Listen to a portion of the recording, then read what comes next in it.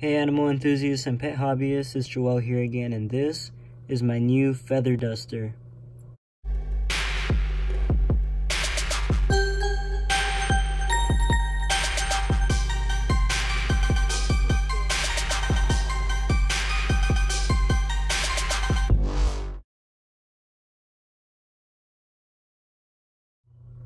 Alright guys, so the acclimation process has been complete.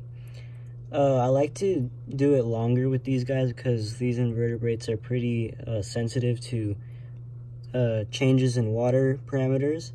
So I wanted to be really careful. I did about an hour and a half, I think, somewhere around there. But yeah, it was drip acclimation and uh, this is my old feather duster. This is actually like a small pink. I think it was a dwarf feather duster. But yeah, I've been thinking about collecting as many different species of uh, feather duster worms.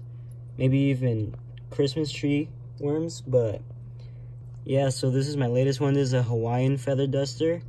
And it's larger than my dwarf feather duster significantly.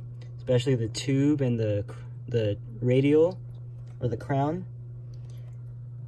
And yeah, so I'm gonna be feeding this guy or these guys Chromaplex. This is phytoplankton. Uh, and I use this turkey baster. Just dose it, put it around the radials to try to let the flow push the microscopic particles into its crown. And yeah, they'll consume it. They're, these are filter feeding marine worms. And yeah. I've also uh, added another hermit crab. This is a blue-legged hermit crab.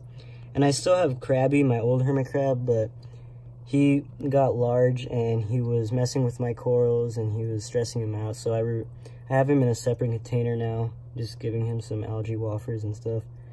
But yeah, hopefully this guy, as you can see, I have a lot of um, algae on my sand bed, and I've actually had a dinoflagellate outbreak, so hopefully he could help me out with that. And it's really, it's smaller than my, than Crabby, so he shouldn't make too much trouble. And also, another tank inhabitant that I just added. These are my zoanthid corals.